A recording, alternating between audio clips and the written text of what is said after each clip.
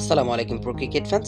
দর্শক, গতকালকে পাকিস্তান এবং নিউজিল্যান্ড পাকিস্তানের ঘরের মাঠে দ্বিতীয় টি টোয়েন্টিতে মুখোমুখি হয়েছিল এবং সেই ম্যাচ দিয়ে কিন্তু আবারও আন্তর্জাতিক ক্রিকেটে বল হাতে ফিরলেন পাকিস্তানের তারকা পেসার মোহাম্মদ আমির। আর আমির ফেরার দিনে কিন্তু দুর্দান্ত পাকিস্তান, কেননা মাত্র নব্বই রানের মধ্যেই কিন্তু কিউই ব্যাটসম্যানদের অল আউট করে দিয়েছে পাকিস্তানি বলাররা। আর সেখানে দারুণ বোলিং করেছেন মোহাম্মদ আমির। এভাবে যে ফিরে আসা যায়, তার প্রমাণ তিনি দিলেন। মূলত পাকিস্তানের ক্যাপ্টেন বাবর আজম চতুর্থতম ওভারে মোহাম্মদ আমিরকে বল হাতে তুলে দেন, আর বল হাতে পেয়ে দ্বিতীয় বলেই চমক দেখালেন আমির। তুলে নিলেন একটি উইকেট। শুধু এখানেই শেষ নয়, মোহাম্মদ আমির তারপরে আরও এক ওভার বল করতে এসেও কিন্তু আরেকটা উইকেট তুলে নিয়েছেন। মোহাম্মদ আমির কিন্তু তিন ওভার বল করেছে, তিন ওভার বল করে তেরো রান খরচ করে দুটি উইকেট তুলে নিয়েছে।